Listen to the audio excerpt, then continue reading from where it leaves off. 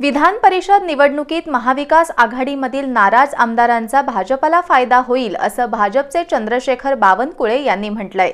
या संदर्भात प्रतिक्रिया देताना गृहराज्यमंत्री सतेज पाटील यांनी भाजपमध्येच उमेदवारीवरून मोठी नाराजी असल्याचं सांगत भाजपनं आपलं सगळं अलबेल चाललंय असं समजू नये असा सूचक इशारा दिला.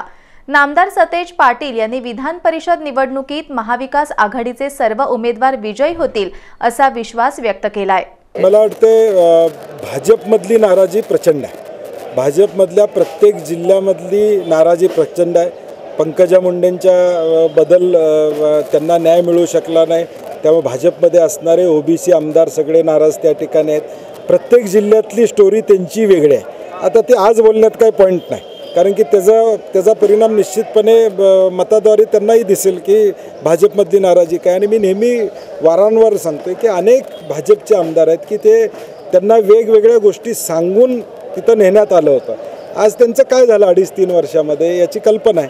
आणि अनेकांना विधान परिषदचे मला वाटते किमान शंभर उमेदवार जाहीर झाले होते मागच्या दोन हजार एकोणीसला की आम्ही विधान परिषदला तुम्हाला उमेदवारी देऊ.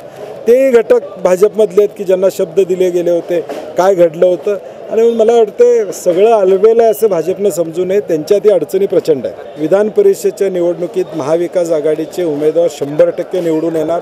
मी काल देखील म्हणलं की परवा एक घटना घडलेली आहे. आम्ही त्यातनं शिकलेलो आहोत की काय त्यामध्ये कमतरता राहिलेली आणि ती कमतरता आम्ही दुरुस्त करणारच आहोत.